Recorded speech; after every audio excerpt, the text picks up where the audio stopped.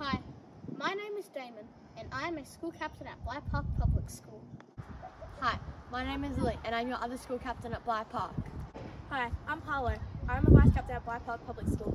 I feel really good about our school being a B Be Kinder school because it's all going to make the world a better place.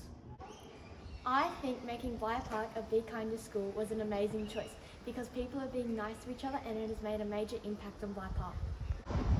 I feel really happy that we are a Be Kinder school because not many schools are.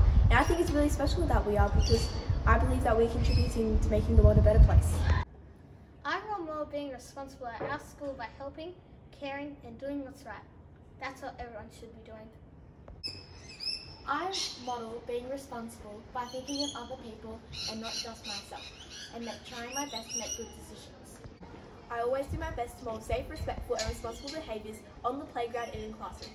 I also use kind words and encourage my peers. I feel really happy and proud to be part of this peacekeeping program and making a difference in the world and our school. I feel incredible that we have enforced the Be Kinder School program into our school. I feel really good that we are responsible for bringing kindness into the school and it's a good feeling to put a smile on people's faces. Embrace kindness at our school by having a friendship bench. The friendship bench is a long blue seat for absolutely anyone to sit on.